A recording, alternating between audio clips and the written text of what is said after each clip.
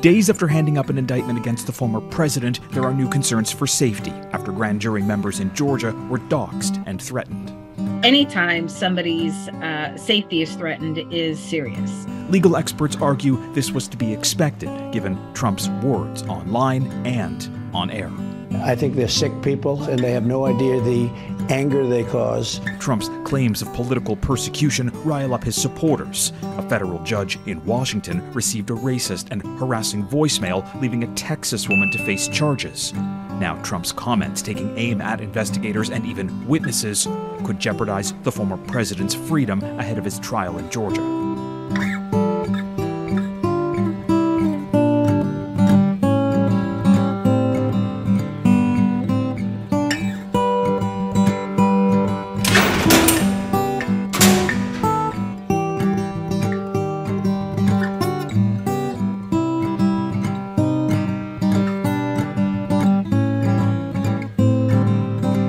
bye bye.